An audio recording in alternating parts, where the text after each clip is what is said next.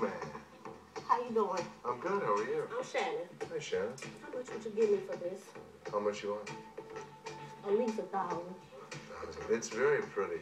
Thank you. The problem is that we don't go that kind of money on those because we can't sell it for that kind of money. So how much would you give me? I give you a hundred. A hundred for this mother coat? Uh-uh. I want more than a hundred. How about a hundred? Feel it.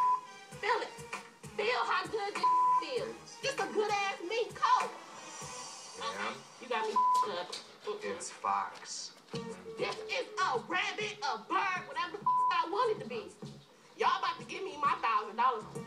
You're gonna give her more than a hundred dollars on that? I'll give her more than a dollar. What the a dollar? Uh, hell. Who the is he? He's my fur expert.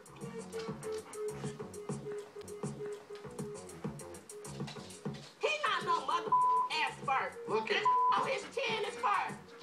I'm not going home with no money.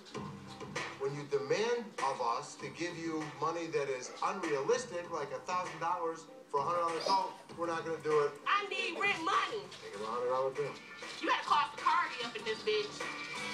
Security? How you doing? You got security too? There you go. Oh! Y'all don't know who y'all went up in here. This mother mink coat. It's Fox. It's a mink, baby. Okay. You see a lot of strange things in American jewelry.